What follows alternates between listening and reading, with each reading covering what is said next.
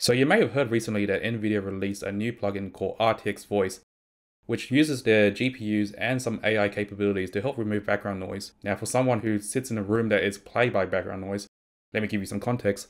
On that wall over there, I have a bathroom and you can hear the sink and toilet going off every time that someone uses it. Behind me, I have a window which I have to open due to how warm this room gets at times. And because the window is open, I can hear my parents and neighbors yelling and screaming all the time when they're talking to each other. It's so bad that you can probably hear it from like 100 meter away. On top of that, I have a flight path to a local regional airport where a lot of pilots are doing the training. So I have a lot of planes coming in on base and final approach. So it's always going off every few minutes, which is very annoying. Of course, this doesn't, doesn't sound good when you're doing a broadcast. So I figured I'll try out RTX voice and see how good it works. In short, it works very, very well. Actually, right now, you're hearing my voice being processed by RTX Voice. But I figure you probably want to look at some comparisons. So I've set up some environments to see if it actually works through Streamlabs, but first setting up RTX Voice. Now this is actually a pretty easy process. All you need to do is go to the NVIDIA website, download the RTX Voice installer, install it, and turn it on.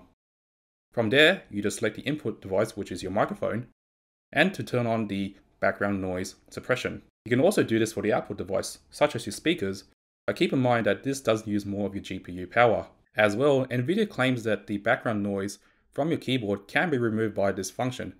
So I'm going to try that and see if it actually does work. Anyways, without further ado, here are the results. This is the sound of the Razer Seiren X mic going through Audacity with no filtering at all. And right now, I'm going to type a few things on my keyboard to see if it does pick up that noise and so far I believe it is picking up every single little noise that I'm making right now on this keyboard. This is the sound of the Razer Seiren X going through RTX voice to Audacity. Right now I do have some background noise in the back and I'm going to type a few things on my keyboard and see if it does pick up any of the key presses.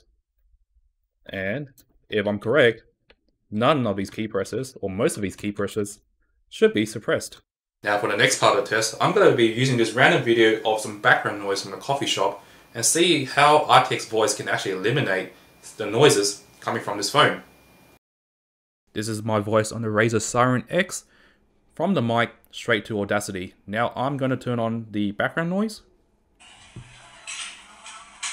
And probably as expected, the mic is picking up every little thing from this video.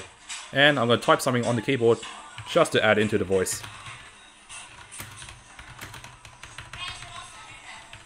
Yep, probably sounds really terrible right now.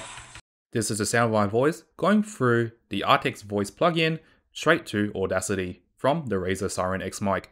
Now I'll turn on some background noise. And along as well as that, I might as well type something on my keyboard. This is a test of the RTX voice function from NVIDIA. And so far, it is going through with flying colors. Please ignore the typos. Now, when it comes to the GPU utilization, I couldn't find any kind of major performance hit from using this RTX voice plugin. Now, keep in mind, I am not a benchmarker like Gamer Nexus or any other YouTuber, but so far, it seems that my GPU is now hovering at the 4% mark in Task Manager. So overall, I'm extremely impressed with how well NVIDIA's RTX voice function actually works. Even though it's a beta program, it is working really well and I'm probably going to be using this for here on out for my streams and videos. It's not perfect, it's still able to pick up some of the noises from the keyboard, normally during the silence. When I'm not talking at all, it is able to pick up maybe a really dull thud of one of the keys. But overall, for the suppression, it's extremely impressive. Now keep in mind, you do need a GeForce RTX graphics card for this function to work. But people have somehow got this working on the older GeForce cards, such as the 9, 10, and the 16 series of cards. And even older than that apparently, but with varying results.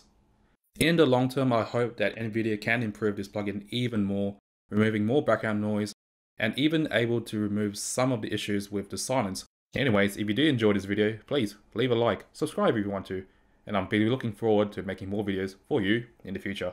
Thank you.